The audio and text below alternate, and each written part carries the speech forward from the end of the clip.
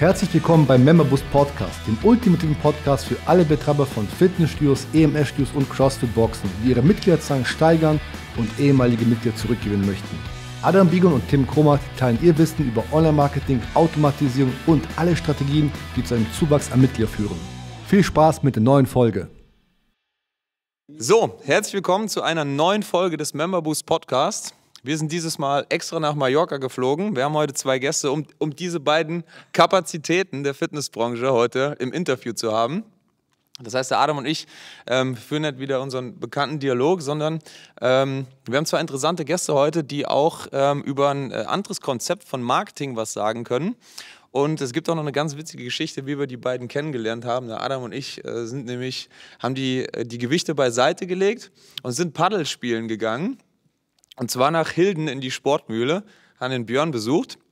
Und ähm, der Björn hat, äh, war, so, war so nett, uns auch einen äh, kleinen Rundgang durch die Sportmühle zu geben. Also für diejenigen, die die Sportmühle nicht kennen, ist, also, ist einfach ein Riesenbunker ja, ja. hier in Hilden mit äh, einigen tausend Mitgliedern. Die bieten, es ist so eine Multifunktionsanlage, die bieten ziemlich viel an. Und was noch ganz interessant ist, was der Björn so in so einem Nebensatz irgendwie beim Rundgang gedroppt hat, war die Tatsache, dass sie eigentlich gar kein Marketing machen, Björn, richtig? So aktiv eigentlich nicht. Also ja. jetzt nicht im, im, im, klassischen Sinne, zumindest was Werbung angeht und so weiter, sondern ähm, eben eine andere Art von Marketing, die auch äh, in der CrossFit-Box ganz, äh, ganz bedeutend ist. Und zwar das Thema Community. Und ähm, ohne zu viel zu verraten, würde ich einfach mal an den Björn abgeben und ähm, den mal bitten, so ein bisschen das zu erzählen, was er auch, was er auch mir erzählt hat äh, bei dem Rundgang, wie die Sportmühle ähm, sehr, sehr viele Mitglieder gewinnt. Ähm, hi erstmal, ihr beiden. Danke für die Einladung. Ja, ähm, äh, großartiges Setup hier. Ähm, eingehen jetzt zu deiner Frage. Marketing ist ja ein spannendes Thema das wissen die meisten Leute, die wissen, okay, wenn wir so viel Geld ausgeben, was hat das am Ende des Tages? Ja, was bringt das denn? Und äh, ich war immer schon so der Meinung von wegen, hey, wie geil ist das, wenn du es schaffst, so wie Apple, dass die Leute bereit sind, bei Kälte nachts darüber, davor zu bunkern oder zu, zu zelten, damit sie einer der Ersten sind, so ein iPhone zu bekommen. Da denke ich so, ey, was ist denn da los? Ja? Du willst dazugehören, du willst einer der Ersten sein. Ist ja auch dann irgendwo eine Community, wo man sagt, hey, auch bei Sneakers, also auch eine krasse Community. Da habe ich immer gedacht, so, ey, ich möchte ein Magnet sein. Ich möchte nicht von wegen äh, irgendwie betteln und hey, liebe Leute, fangt bei uns an und äh, irgendwie sowas. Lass uns doch einfach mal intern so einen geilen Job machen, dass die Leute gerne zu uns kommen möchten. Und dann fängt es an. Dann war ich drei Jahre, ja, vor einigen Jahren, war ich auch mal in der Tourismusbranche. Mhm. Und ich finde dieses Konzept Clubhotel, so Robinson-mäßig, finde ich ja geil. Ja, du kommst irgendwo an, du wirst gleich nett begrüßt und dann kommt so ein äh, Come-Together-Cocktail, so ein Welcome-Drink. Dann stellt, stellt man sich so untereinander vor, man hat dann eben noch, noch ein Abendprogramm, wo die Neuen sich erstmal kennenlernen. Ich sage vorhin, hey, das kannst du auch im Fitnessstudio auch, auch machen. Ja? Und äh, gepaart dessen dass die Leute sich untereinander kennenlernen, mit eben die, das wichtigste Werkzeug, den weitergeben. Das ist so der kleine Fitnessführerschein, aus meiner Sicht sehr, sehr wichtig, weil wir im Fitnessbereich eine Verantwortung haben. Wir sollten den Leuten wirklich zeigen wollen, wie es geht und nicht einfach nur ein paar Geräte hinstellen und sagen, macht selber. Äh, sage ich von, hey, das ist so Community, Welcome plus eben so ein kleiner Fitnessführerschein. Ja, das ist die ersten vier Wochen bei uns und äh, das läuft super, super gut. Und äh, das ist so der Step One. Dann geht es ja äh, so weiter zu sagen, hey, wie können wir denn die Leute denn dauerhaft Fitness schmackhaft machen? Weil viele Leute kündigen ja, Klar. kennen wir ja, ja. Es gibt ja eine Quote, die besagt von wegen, von 100 Leuten, die im Fitnessstudio anfangen, wie viele Leute erreichen ihr Ziel? Wisst ihr die Quote? Nee. Was würdet ihr schätzen? Ich würde schätzen, wahrscheinlich 20 Prozent. 20? Ja. 20? Ja. Das ist eine Frage, die ich immer wieder stelle, ja. wie alle zwei Wochen bei jedem Trainingsseminar, was ich, was ich gebe. Es sind sieben Prozent. Oh, sieben. Wenn ich mir vorstelle, sieben Leute erreichen ihr Ziel, 93 nicht. Was ist jetzt, ich nehme vor, was ist der Grund, warum sie es nicht erreichen? Ja, und das, das habe ich mich dann auch gefragt. Motivation. Und ich glaube von wegen, ja, natürlich Motivation, Spaß geht nicht mehr, der, geht nicht mehr voran. Äh, das Training ist vielleicht zu monoton. Äh, sie sind am Anfang natürlich voller Euphorie rangegangen. Mhm. Dann merken sie von wegen so, oh, Fitness ist ja doch nicht so lustig außer du gehst in Zumba, hast ein bisschen Spaß. Nee, Fitness heißt von wegen, es ist wie Zähneputzen. Ja, du musst auch mal an dein Limit gehen. Ja, es tut auch vielleicht mal weh, aber es bringt dir im Long Run viel mehr. Ja, es ist eine Investition. Aber du musst es auch wissen und verstehen. Und du musst versuchen, gerade am Anfang den Leuten schon mal so die ersten Erfolgserlebnisse zu geben. Ja, weil dann bleiben sie dran. Ja? Und äh, wenn du allein gelassen wird, ist das halt, halt sehr, sehr häufig nicht der Fall. Mhm. Darum haben wir überlegt, okay, äh, wie können wir das machen, dass die Leute in so einer Art Community, Community sind, ja? dass sich untereinander unterstützen. Und vor ungefähr sechs Jahren hatte ich so die Idee, lass uns doch mal, einer der wichtigsten Themen im Fitnessstudio ist Abnehmen. Abnehmen. Genau. Ja? Und dann sagen, lass uns doch mal so eine Challenge machen. Mhm. Ja, wir kennen ja auch im Fernsehen so das Biggest Loser, ja? ja, sind auch Teams, die gegeneinander antreten etc. Lass uns das doch mal ins Studio integrieren auch Teams bilden. Die Trainer können endlich mal beweisen, wie gut sie tatsächlich sind. Ja? Nicht nur von ihrem fachlichen Know-how, sondern auch Motivation, mhm. ja? soziale Kompetenzen. Ja. Und äh, das fanden die Trainer damals ziemlich cool. Haben gesagt, okay, ja gut, machen wir. Und äh, dann haben wir die Teams gegründet. Dann waren so 20 Leute pro Team, haben wir klein angefangen mit 60, 80 Leuten. Ja. Mittlerweile haben wir jetzt dieses Jahr, jetzt gerade letzte Woche war Ende, ja, die größte interne, studiointerne Challenge gehabt mit 240 Leuten. Krass. Ja, neun Teams, ja, neun Coaches, die gegeneinander gebettelt haben, ja, und es war eine Euphorie, es war eine Energie acht Wochen lang bei uns im Studio. Das ist, das ist, das kannst du so nicht ja, beschreiben. Wir haben das ja gesehen bei euch, als wir den Rundgang gemacht haben, fand ich richtig geil, dass bei euch in, im, im Studio über Monitore hängen. Auf den Monitoren stehen da im Grunde genommen dann die Namen der Gruppen oder die Namen der Coaches, glaube ich, bei euch. Die Teams, genau. Und dahinter halt auch dann die Kilos, die abgenommen wurden, richtig? Ja. Das heißt, es ist halt während dieser Wochen immer transparent, welches Team gerade irgendwie um welchen Platz kämpft, sodass immer diese Motivation quasi äh, hoch bleibt. Ja? Und ähm, ich finde es richtig, richtig geil, weil also die Zuschauer oder Zuhörer wissen, wir haben ja eine CrossFit-Box bei uns und das ist das Thema Accountability, das Thema äh, Community, super, super wichtig. Und ich habe ja schon gesagt, die Leute, warum kommen Leute zum Sport und warum hören sie auf? Und ich glaube immer, es gibt einen Grund, sie fangen motiviert an, klar, das ist ja relativ simpel, aber dann irgendwann flacht es ab. Und es flacht ab, entweder, wenn sie keinen Erfolg haben, ja, oder wenn sie keinen Spaß haben. So.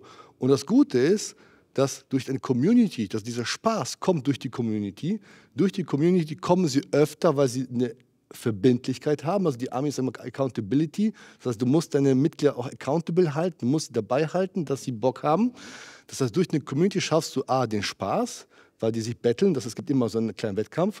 Es gibt das Thema der Verbindlichkeit, weil, okay, wenn ich zum Team gehöre, dann bleibe ich auch dran, weil ich will, dass meine Kilos oder mein Beitrag auch zum Team geleistet wird und dadurch haben sie halt Erfolg. Und dann ist es wirklich wie so ein Perpetuum mobile, was sich quasi selbst äh, immer wieder antreibt. Mhm.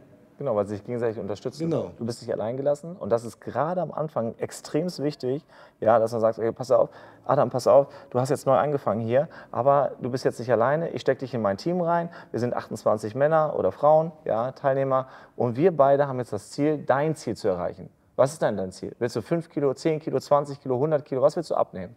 Ja? Und äh, dann werden wir gucken, dass wir das auch erreichen in diesen acht Wochen, wenn es möglich ist. Und wenn nicht, dann im Long Run. Dafür gibt es ja. ja diese. Nachhaltigkeitschallenge. Wir sind ja alle keine Freunde davon, Crash-Diäten oder so Müll zu machen. Ja? Es soll wirklich mit Sinn und Verstand sein, gut was abzunehmen, aber gleichzeitig eben auch die Fitness zu erhalten, den Stoffwechsel zu erhalten oder noch zu verbessern, wenn es geht.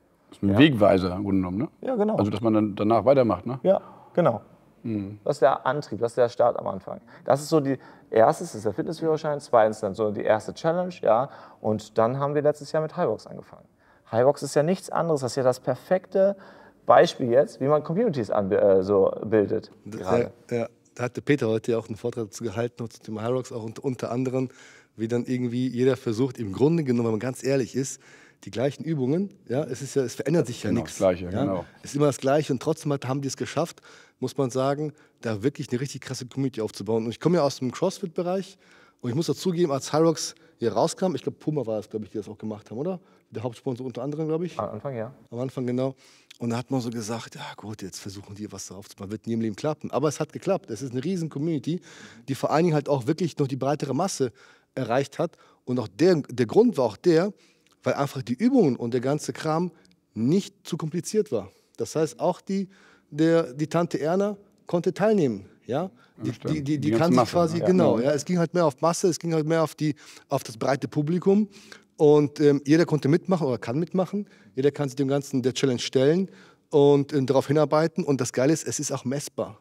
Ja, das heißt, du kannst dich mit der ganzen Welt einfach messen und schauen, wie gut du bist im Verhältnis zu, also in deiner Altersklasse im Verhältnis zu anderen. Du bist ja relativ, relativ gut da drin, oder? Fit. Was hast, du da, was hast du da jetzt erreicht? Erzähl mal.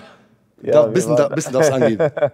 Ja, wir waren letztes Jahr, äh, haben wir dann ähm, im Juni mit unserer neuen Skillhall dann eben mit Highbox angefangen, äh, haben dann die Ausbildung gemacht zum Highbox Coach und habe ich schon gemerkt, ich finde das gerade geil, was du gesagt hast, dass äh, Leute auf einmal anfangen, zu, auf ein Ziel hinaus zu trainieren. Ja, weil wenn man sagt, ey, du fängst jetzt mit Fitness an, mach mal die Gewichte mit der Übung, die Gewichte und guck, dass du sie langsam steigerst. Ja, aber in Wirklichkeit hattest du ja nicht so einen richtigen Antrieb, keinen Reiz. Beim Highbox ist es so, von, hey, du hast jetzt das, das ist deine Zeit. Wir gucken jetzt vor allem, dass wir dich von Woche zu Woche besser machen. Deine Performance besser machen, deine Fitness besser machen. Und äh, das siehst du, wir arbeiten da mit Polar zusammen. Ja, wir haben diese Screens, wir sehen von wegen, wie die, wie die Pulsschläge dann sind. Ja, und wir sehen auch von wegen, wenn Menschen komplett immer im roten Bereich sind, dann müssen wir an der Grundlagenausdauer arbeiten. Also wir können als Coaches viel besser die Leute auch betreuen. Und das ist ein großer Faktor, ähm, dass du so im normalen Training oben vielleicht nicht hast. Ja? Und äh, noch zu der Frage jetzt, dann haben wir dann angefangen und in Hamburg haben wir letztes Jahr im November dann die erste Competition gemacht. Da war ich dann auf ähm, Platz zwei. Ich mache das gerne im Double, Mixed Double.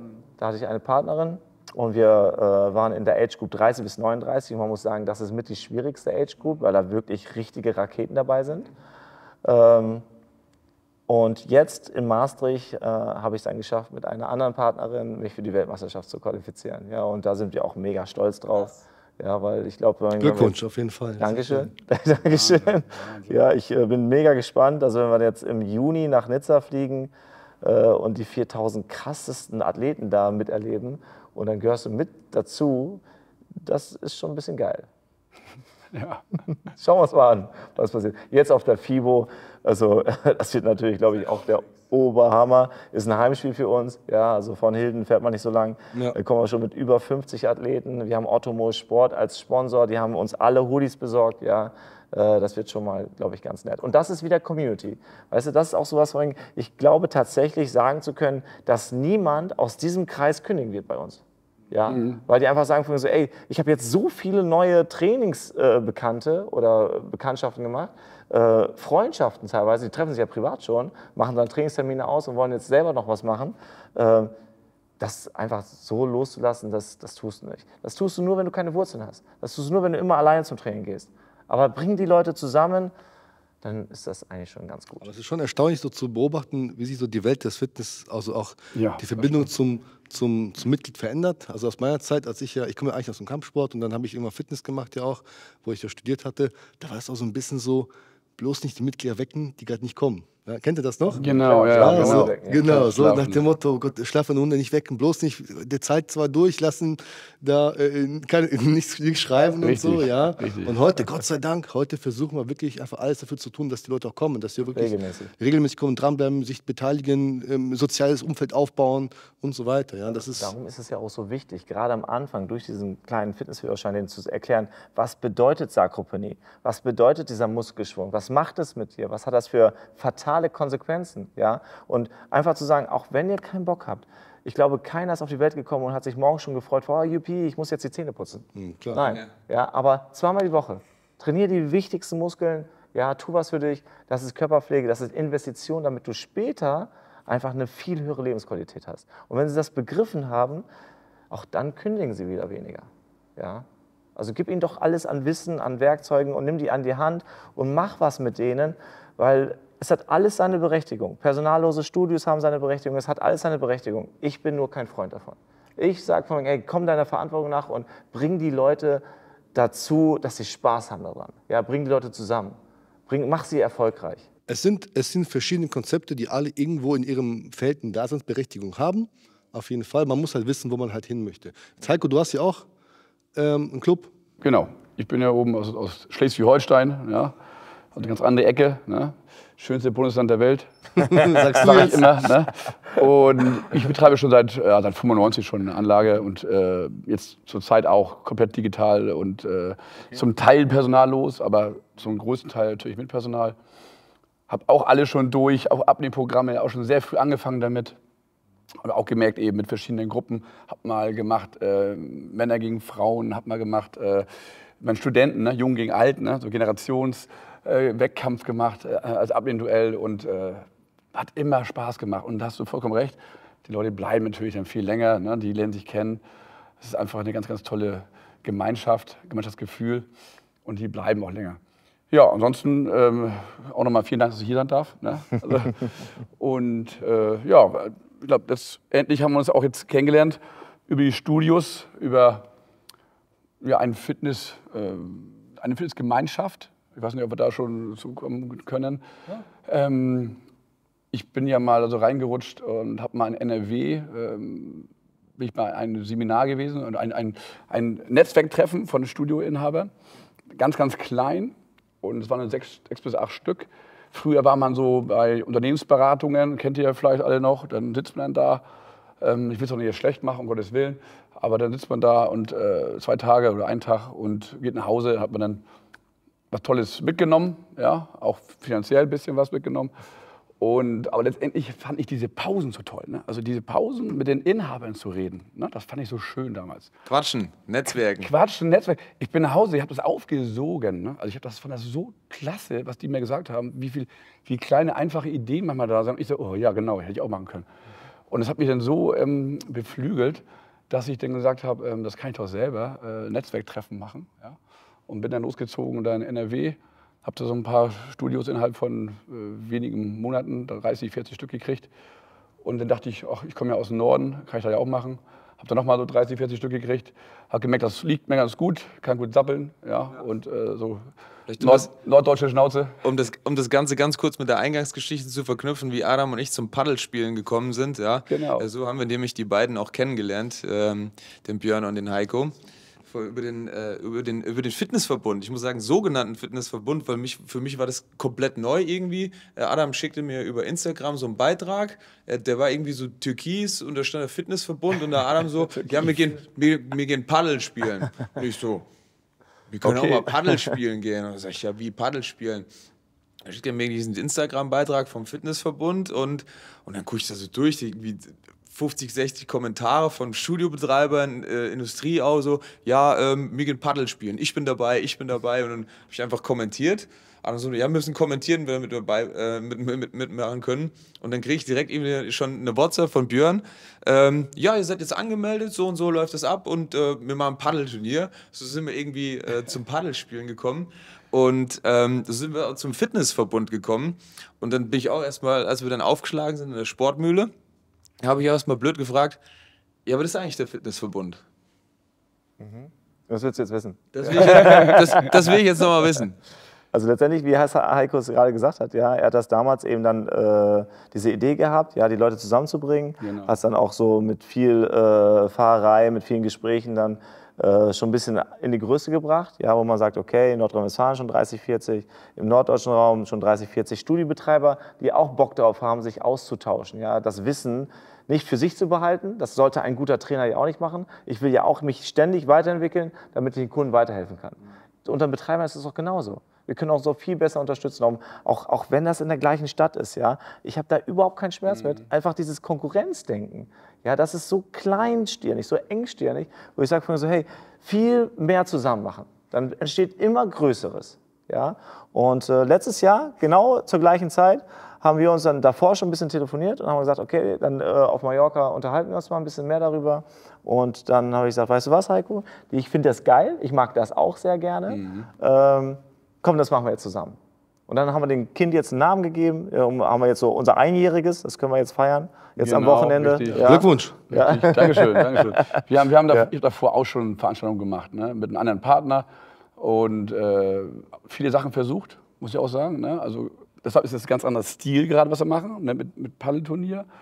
Ähm, ich habe vorher das über tolle Location versucht. Ne? Also gar nicht im Fitnessstudio, sondern eher so Hotels gebucht ne? oder irgendwie Wasser, Wasserschloss gebucht mit drei Sterne. Für teures Geld. Ja, mit drei Sterne-Köchen und alles richtig edel gemacht. Aber da haben wir gemerkt, dass, darum geht es gar nicht. Ne? Was wir toll, was die meisten Inhaber ja gut finden, ist ja, dass wir in einem Studio aus sind, auch mal was anfassen können. Natürlich bei euch natürlich mega in der Sportmühle, ne? dass, die, dass die Inhaber auch mal hingehen können und mal reden können, auch mit dem Trainer mal, ey, wie macht ihr das denn? Oder ich fasse mal an, äh, E-Gym oder wie auch immer. Mhm. Und ich glaube, das ist ja auch toll gewesen. Das habe ich gemerkt. Also es bringt nichts, was, ne? tolle Location, bringt kein Inhaber irgendwie.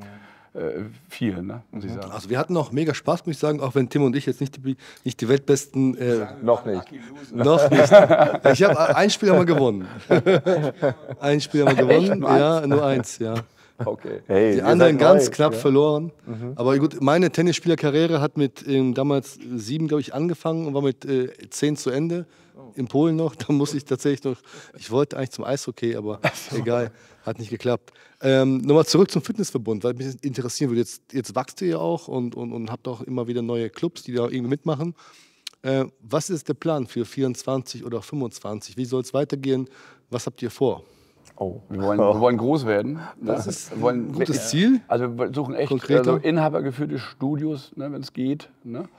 Ähm, kann natürlich, deshalb auch der Aufruf, ne? also jeder kann natürlich mitmachen, jeder, der ein Studio hat, mhm. dann aber nur Inhaber natürlich. Und ähm, wir, umso größer wir werden, ja, umso mehr können wir erreichen, glaube ich. Ne? Weil gemeinsam sind wir stark. Und das ja. ist eigentlich das ist unser, unser Slogan ja auch schon. Ne? Gemeinsam sind wir stark, wir können mehr erreichen. Wir wollen eine Jobbörse zum Beispiel mit drin sein, dass man sagen kann, ich, ich suche jemanden, machen wir ja auch schon ne, in den Gruppen. Wenn ich brauche jemanden und dann wird dann auch schon schnell geantwortet. Oder ähm, Gerätebörse zum Beispiel. Ne? Oder Einkaufsmöglichkeiten, Einkaufsgemeinschaften machen, ne? dass man ein bisschen, was, ein bisschen günstiger kriegt. Ne? Warum nicht? Ne? Und, ist, ja. Oder auch jetzt, was, was ganz toll ist gerade, was wir jetzt aktuell gerade haben, es gibt immer Themen, die uns alle dann äh, angehen und Studios ja, ähm, ob das nun gerade mal Software ist, da wird natürlich hart diskutiert mhm. gerade. Ne? Und da versuchen wir als Verbund eben zu sagen, komm, wir reden dann mal mit der Firma direkt. Im Namen von jetzt mittlerweile 160 Studios. Ja, ja wird schon ein bisschen mehr, 180 sind wir schon fast. Also ja, es gibt auch schon jetzt Netzwerkeffekte, kann man sagen. ja. ja. ja. Und sagen also, wir, pass auf, wir, wir, versuchen das zu klären, weil wenn jeder jetzt einzelne E-Mail reinschreibt, ich glaube, die Industrie ist genervt, ja, ja. aber okay, wenn sie es verbockt hat, dann müssen sie es auch ausbügeln. Äh, aber sozusagen so, pass auf, ey, wir gucken vom Wegen, dass wir uns da einsetzen äh, und versuchen mal eine faire Lösung zu finden. Ja, weil ich glaube, ich bin naiv manchmal, denke vorhin so, ey, keiner macht was irgendwie böswillig. Äh, oft steckt leider ein bisschen zu viel Kapitalismus dahinter darum, was wir ja auch anbieten, gerade durch die Events. Ihr habt ja selber gesehen von wegen, bei uns zahlt Industrie wie eben äh, Betreiber haben bei dem Pedal-Event nur 40 Euro gezahlt für den ganzen Tag zocken mit Schläger, mit Bällen, mit Mittagessen. Mit Essen, ja. Ich glaube, das ist ein Wahnsinn. sehr fairer Preis. Wo zahlt die Industrie 40 Euro für sowas? Ja, ja? Genau. Um dann auch mit stimmt. Betreiber kennenzulernen. Ja?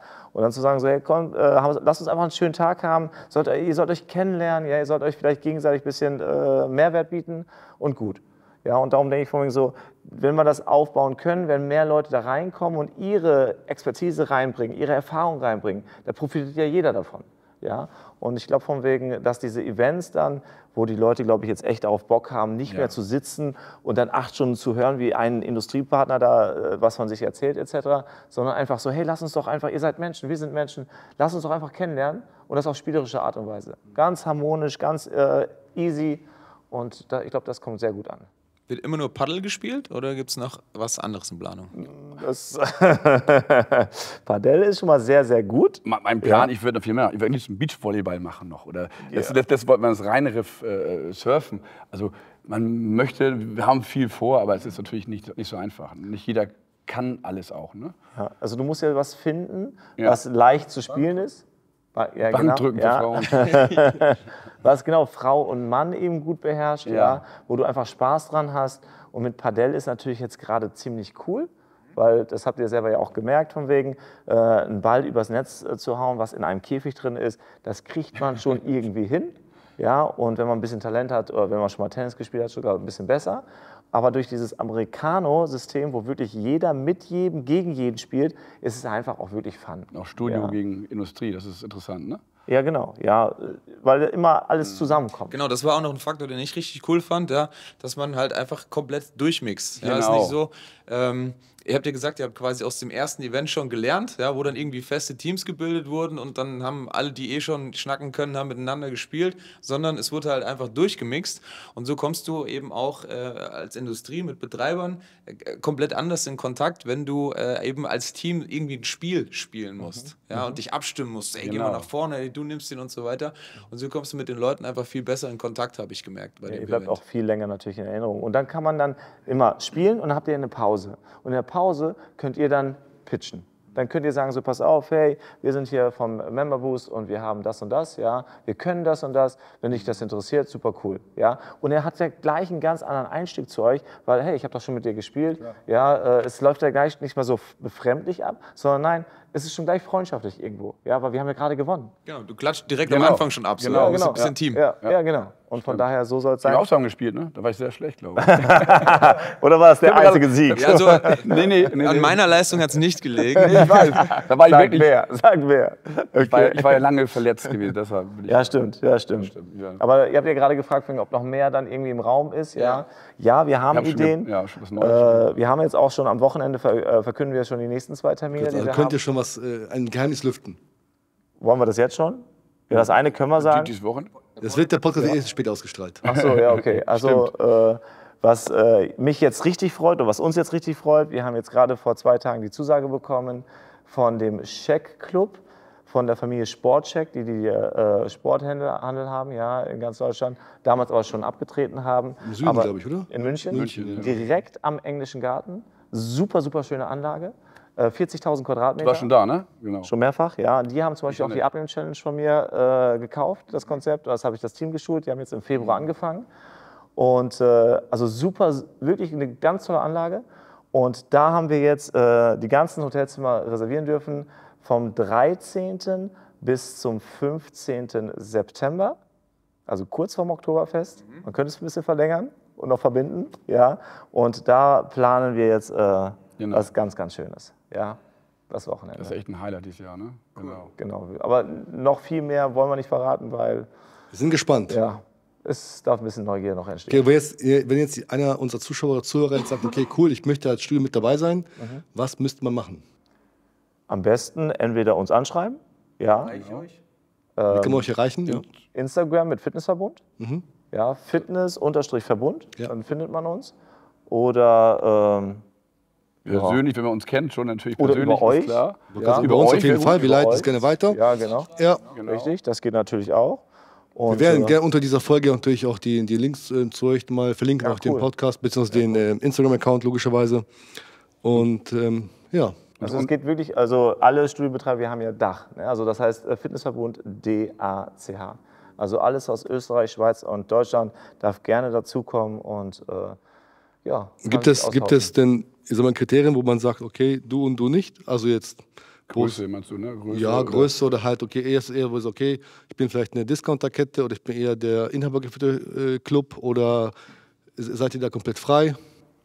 Ja, wir suchen schon Inhaber geführt, aber letztendlich ist es ein bisschen, ähm, hat man eben auch gehabt, ne? Äh, Es ist immer so schwierig zu sagen, so eine glatte Ja, Grenze zu ziehen. ist schwierig, ja? genau. Also ich bin's, also wir sind beide schon eher so, so der Freund zu sagen, so hey, ähm, ein Mensch, also ich glaube, uns menschlich ist, sind wir beide, das wollte ich gerade sagen. ja, ne? ja, ein, was, was, was wichtig ist, ein Mensch, der sagt so, okay, ich habe hier ein Studio, ja, das habe ich, hab ich aufgebaut, ja, das habe ich jetzt äh, mitentwickelt etc., ist anders wie ein Investor, der jetzt einfach nur sagt, so, hey, für mich ist das ein Abschreibungsprojekt, für mich ist das einfach so, ey, ich stelle da die 1000 Geräte rein, mache da jetzt äh, mal 50 Anlagen, das soll einfach nur betriebswirtschaftlich laufen, ja.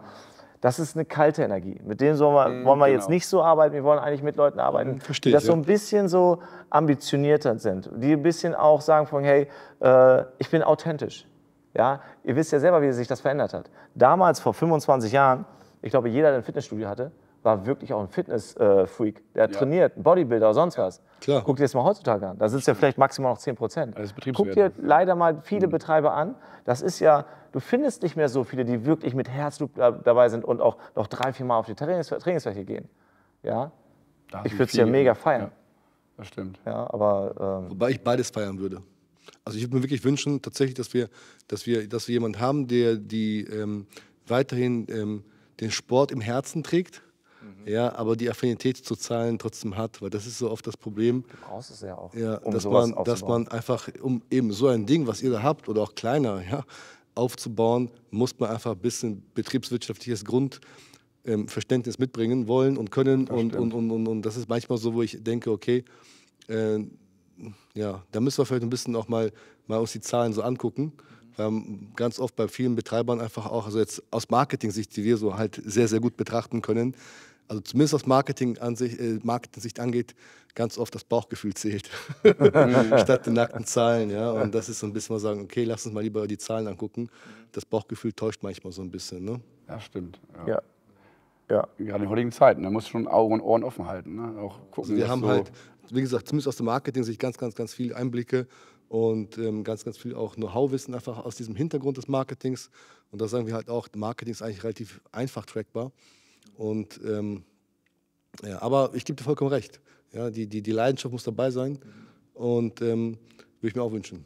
Ja, ich glaube, das merkst du selber. Wenn, wenn ich jetzt vor dir bin, ja, und du kommst zu mir ins Studio und äh, ich wiege halt jetzt mal 120 Kilo und äh, treibe keinen Sport und ich soll dir jetzt erklären, wie Fitness geht. Ah, Ich weiß nicht. Also ich persönlich habe da so ein bisschen Bauchschmerzen. Ja. Absolut, absolut, ja. Also von daher, ich würde es feiern, einfach wenn ich sehe, von so, äh, du bist irgendwo, bist auch gut in irgendwas, ja. Äh, überleg mal, die ganzen guten Trainer oder so, die haben vielleicht auch was er gereicht, erreicht und dann sagst du, hey cool, dir kann ich folgen, weil ich glaube von wegen, was du da tust, das hat Du bist hat authentisch. Ja, richtig. Ja, absolut. Ja. Ja. Und äh, weißt du, alles hat seine Berechtigung. Auch die Betreiber, die es eher wirklich sagen, von, hey, das ist für mich ein betriebswirtschaftliches Ding. Ja, das hat ja auch eine Berechtigung. Ähm, ich glaube, das ist aber ein anderer Menschentyp. Wie jetzt zum Beispiel jemand, der sagt von so, hey, pass auf, äh, für mich sind Zahlen zwar wichtig, ich muss ja auch überleben und alles zahlen können, aber ich mache das wirklich wegen der Sache. Genau. Ich bin der Sache treu. Ja? Ich möchte diese Sache an Menschen bringen. Und ich glaube immer von wegen, irgendwann hat es bei mir angefangen, ich mache niemals mehr was wegen Geld. Ja? Wenn, wenn ich irgendwie gleich so von so, ey Björn, du kannst dadurch Geld verdienen, sage ich von so, ja und? Äh, Geld kannst du mit allem verdienen. Aber ich will ja was machen, wo ich wirklich irgendwie auch Menschen äh, begeistern kann, wo ich sie äh, berühren kann, ja? wo ich denen helfen kann. Und wenn du magst, von so, diese Sache ist das erste Thema, was dich interessiert, du verdienst, also wie habe ich so schön letztes Mal irgendwo gehört, äh, fand ich mega geil, helfe Menschen erfolgreich zu werden und du wirst es selbst. Ja? Und von daher, was dran. Ja, ist ja, gut. die Sache soll an Punkt 1 kommen und äh, über Geld solltest du dir eigentlich gar keine Gedanken machen, finde ich. Ja, und ich Und glaube, das machen wir auch gerade. Wir- Uns geht es überhaupt nicht ums Geld. Ne? Ja, Wir- das- das wir- merkt ihr wir ja auch verdienen auch nichts oder so. Ne? Also, Ja. Wirklich nicht. Ne? Und es ist trotzdem schon viel Arbeit. Ne? Und macht aber Spaß. Ne? Das ist das Tolle daran. Ne? oh ja, man Aber unterschätzt das. Ne? ist- genau, also die genau, ganzen ja. Events und äh, das alles zu organisieren, das äh, dauert dann natürlich schon. Also ich, ich kenne das auch bei uns, wie gesagt, wir haben ja eine CrossFit-Box, wir haben auch eine Community und wenn ich da halt einfach, ähm, oder wenn ich auch sehe, wie unsere Teams da entsprechend auch intern was machen, ähm, sei es halt irgendwie, wir machen auch interne Wettkämpfe oder irgendwie, wir haben auch einmal pro Jahr immer so Battle the Coach, also quasi, dass man halt sich aussuchen kann, gegen welchen Coach man dann antreten darf und dann gibt es halt Übungen, ja, also da ähm, also es gibt wirklich viele, viele, viele coole Events, die wir auch machen. Das ist echt nicht zu unterschätzen. Ja? Was da an Arbeit, Organisation und wenn man wie beim letzten Mal da irgendwie sich verrechnet hat, dann verdammt, jetzt mal wieder zurück, dann sind wir wieder zurück ins Büro und haben da alle Workouts mal durchgerechnet, weil wir einen Fehler hatten.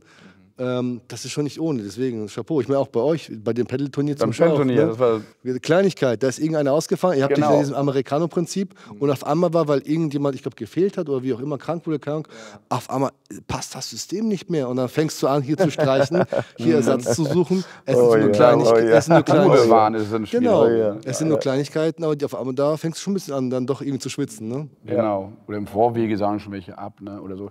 Ja, also wenn du es dann äh, zwei so, Tage vorher hast, okay, du kannst ja noch super gut, weil den Plan, aus Erfahrung mache ich den erst immer einen Tag vorher.